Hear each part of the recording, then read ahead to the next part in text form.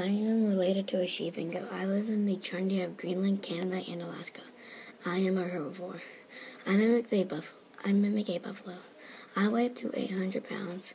I have hooves that help me walk in the snow. I have a thick plate of bone called a boss. It protects my head when I smash it in a fight. I have long ticket fur for the cold. I'm a muskox.